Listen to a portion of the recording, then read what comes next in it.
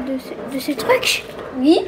C'est pas un tableau, ça- ça- c'est un- c'est une porcherie Tu effaces, tu effaces, tu effaces, tu effaces, tu effaces, tu effaces, tu effaces, tu effaces, J'ai compris. et puis ça efface pas Ah, coûte cher un tableau numérique par contre. Mais pourquoi voulez-vous un tableau numérique?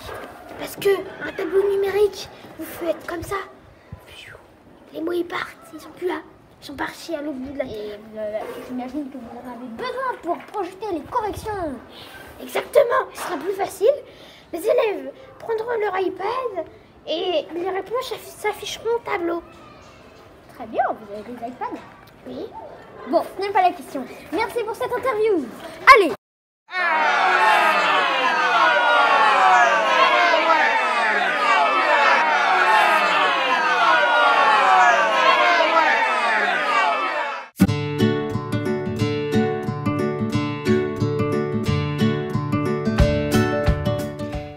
tout ce qui est technologique.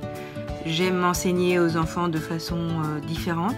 Et voilà, mon rêve, ce serait de pouvoir exploiter au maximum tous les outils numériques, d'en faire profiter les élèves.